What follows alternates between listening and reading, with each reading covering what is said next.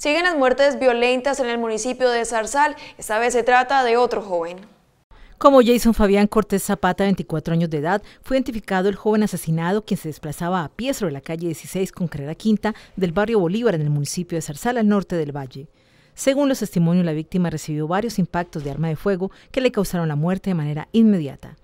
Los móviles y autores son materia de investigación por parte de las autoridades.